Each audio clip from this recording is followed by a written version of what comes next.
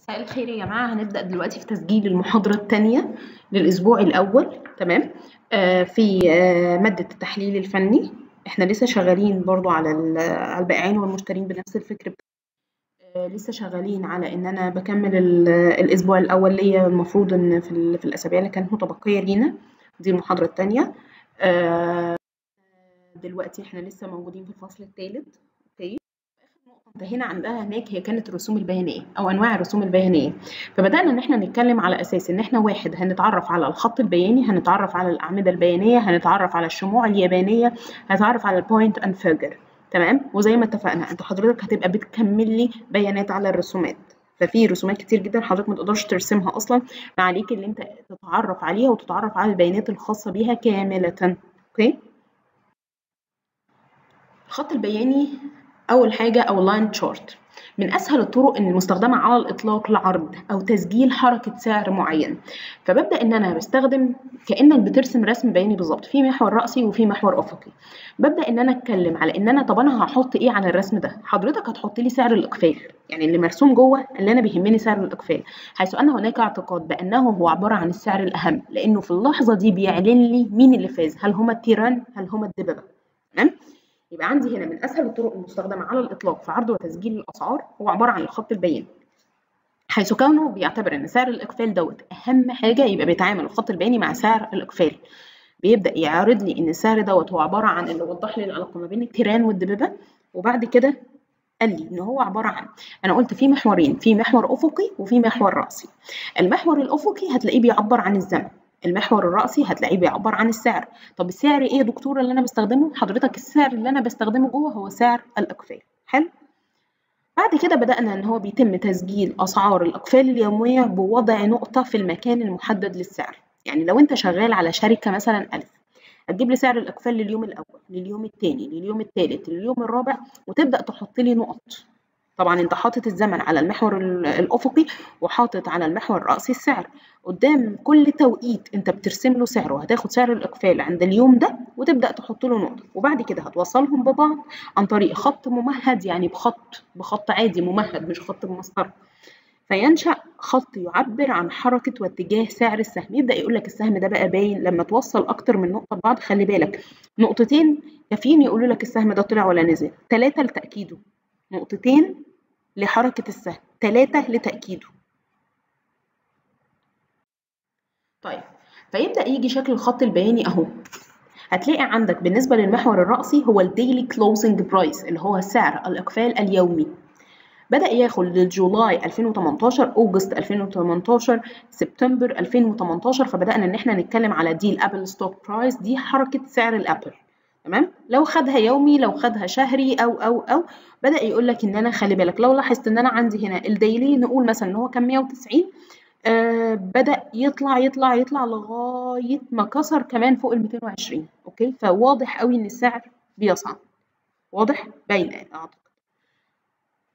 كما هو موضح فإن السعر المستخدم هو سعر الإقفال أو ال closing price على المحور الرأسي والزمن على المحور الأفقي.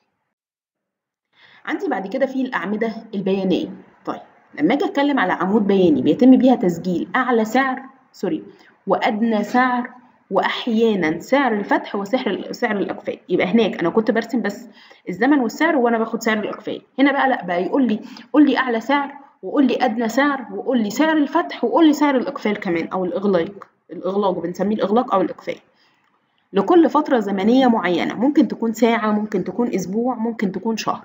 قال لك أن المحور الرأسي برضو بيمثل السعر والأفقي بيمثل الزمن. يبقى أنا ما اتغيرتش غير إني هناك بستخدم إقفال بس هنا فتح وإقفال وأعلى سعر وأدنى سعر. يتم الربط ما بين أعلى سعر وأدنى سعر بخط عمودي. بعد كده قال لك إن سعر الإقفال هتشوفه دلوقتي علامة على الخط اللي انت خدته ما بين أعلى سعر وأدنى سعر ناحية اليمين. يبقى كأنك أخدت عمود أو أسقطت عمود من أعلى سعر إلى أدنى سعر فبقى عندي عمود رأسي. حلو. بدأ يقول لي إن أنا هحط علامة على ناحية اليمين تعبر لي عن سعر الإقفال أو ال closing price أحط علامة جهة اليسار تعبر لي عن سعر الفتح. حلو.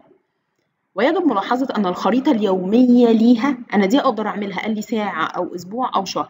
الخريطة اليومية هتختلف عن الشهرية لأنه خلي بالك قال لي إن أنا لما باجي أبص على سهم أنا الأول ببص على طويلة الاجل أشوف السهم ده ماشي إزاي زي ما بصيت على ال Apple بس ما كانتش أعمدة كانت خط بصيت على الأبل شفت اتجاهه اتجاهه عبر الشهور الأول قبل ما أبص خلال اليوم عشان أشوف السهم ده كان في الشهور عامل إيه عشان لو نزل يوم ولا وقع يوم ما إحنا قلنا إن أنا عندي بالنسبة للتحليل الفني لما درسناه قبل كده قلنا إن أنا بهتمش بيغفل الفترات قصيرة الأجل هو بيهتم بطويل الأجل أكتر.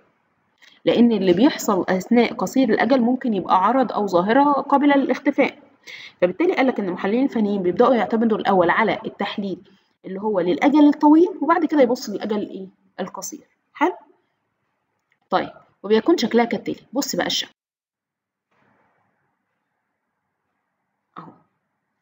هتلاقي عند حضرتك إن أنا عندي أعلى سعر اللي هو ال high والأقل سعر اللي هو ال low رحت راسم خط عمودي وصل ما بين أعلى سعر وأقل سعر. ورحت واخد ال closing price اللي هو سعر الإقفال. حطيته على اليمين وال opening price حطيته على الشمال. خلي بالك هنا ال closing price إيه؟ أعلى من ال open يبقى السعر ده حقق السهم ده حقق ربح. يبقى السهم ده صعد. كان فاتح مثلا عند ال open نقول على 70 قفل عند 90 تمام؟ بس قفل أقل من السعر الأساسي من ال high بتاعه. واضحة الرسمة يبقى أنا باخد ال high وال low أعمل ما بينهم خط. بعد كده سعر الأقفال بيبقى على اليمين سعر الفتح بيبقى على الشمال. الرسمة دي تتقري إزاي؟ الرسمة هنا إن ال closing price كان أقل من ال high أصلا وإن ال closing price كان أعلى من ال open وخلي بالك إن ال open كمان ما وصلش لدرجة ال low. تمام؟ كما هو موضح فيتم التعرف عليها من على أعلى سعر اللي هو ال high وأدنى سعر اللي هو ال low. وصل إليه السهم من خلال الفترة المرسوم عنها الشكل بيكون الإقفال. هو ال closing price على اليمين والفتح هو الأوبننج برايس على اليسار. قالك بعد كده في بقى الشموع اليابانية. بص يا سيدي بالنسبة للشموع اليابانية دي ممتعة جدا على فكرة. هنتناول جزء منها هنا ونبدأ نكملها بعد كده. تشبه تلك الطريقة إلى حد كبير طريقة الأعمدة. الأعمدة اللي إحنا لسه واخدينها. والتي تحوي كل البيانات الخاصة بالأسهم. فيها بيانات كتير. التي يتم تسجيلها على الأعمدة. بالإضافة بقى إلى إن هو أعطى أهمية بالنسبة لسعر الفتح. يبقى لو أنت رجعت خدت الخط البياني هو كان بيهتم فقط بالإقفال. بدأ في عند دلوقتي الأعمدة بدأ يحط أعلى سعر وأدنى سعر وسعر الإقفال وسعر الفتح. بعد كده بالنسبة للشموع البيانية قال لك ده أنا هحط نفس ده بس أنا هيبقى عندي أهمية بالنسبة لسعر الفتح. أنا لازم أقارنه بالإقفال. يعني الكلام اللي إحنا قلناه على شرح الرسم اللي فات حضرتك هنا بتعمله.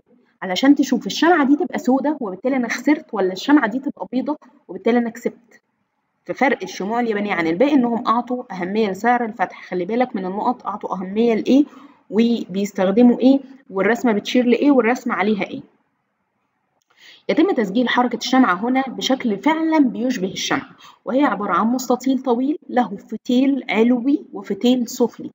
يعني زي ما بتجيب شمعة عند حضرتك هتلاقي شمعة في فوق فتيل وفي تحت فتيل فيها. خيط. الفتيل العلوي ده هو أعلى سعر وصل له السهم. الفتيل السفلي هو أدنى سعر وصل له السهم.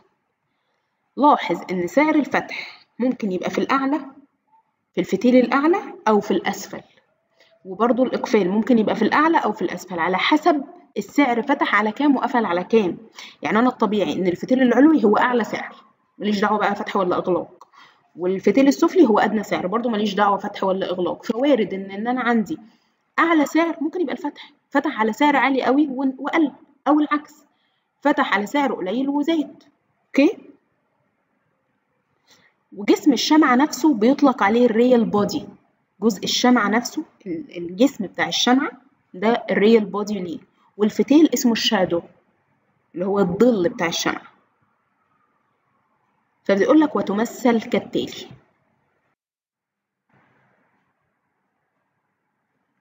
هنبدأ بقى من المحاضرة الجاية اللي هي إن شاء الله الأسبوع التاني المحاضرة الأولى. في الأسبوع التاني نتعرف على الشموع اليابانية. بكده تكون انتهت المحاضرة دي. ميرسي جدا جدا بجد.